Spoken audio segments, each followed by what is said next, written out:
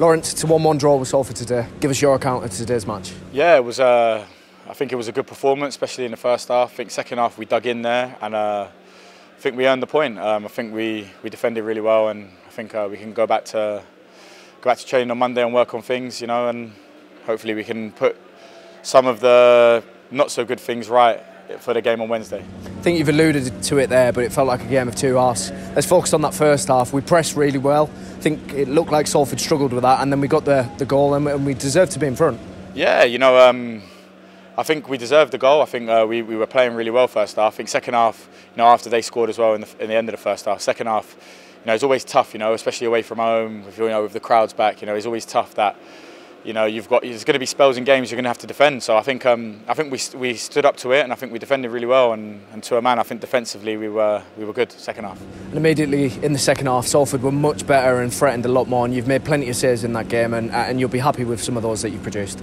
Yeah, you know, um, I think that's just part of my job. You know, I've got to make as many saves as I can. You know, try and help the boys out. But you know. Um, I think defensively they, they help me as well. You know, they, they, they stop runners. You know, so I could take crosses and you know, it's, it's, it's always um, always helpful, you know, to have a back four that, that wants to defend, you know, and I think uh, that's what we had today, and I think uh, we can come away from here with a deserved point.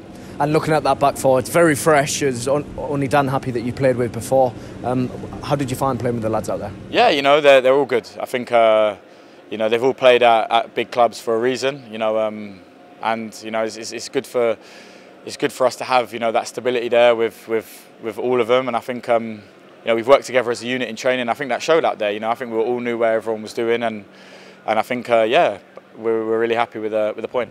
And the bigger picture is we of course lost here 3 0 at the uh, closing day of the season, and then a 1 1 draw now to start the season against someone who many will expect to be right up there. It's a great result to kickstart and take into the year. Yeah, you know, it's definitely. Um, you know, it's obviously the beginning of the season. You know, uh, a lot of things happen. You know, um, but you know, that this team has been tipped for to get promoted. So I think for us to come here and you know take a point, you know, I think it's a good a good result. And I think uh, you know we just can look forward. You know, we've got QPR on Wednesday and then another big game at home against Exeter on Saturday. And before we let we go. How about that away end today? They were in fine voice. Yeah, no, it's, it's fantastic to have them back. You know, a bit of normality, and you know, it was amazing. Uh, just for them, just hearing them, you know, they made a lot of a lot of numbers, you know, made the trip up here, and it was it was it was heartwarming to see everyone there celebrating, and it was good to you know to hear the roar when we scored. So hopefully we can hear that on Wednesday and Saturday as well.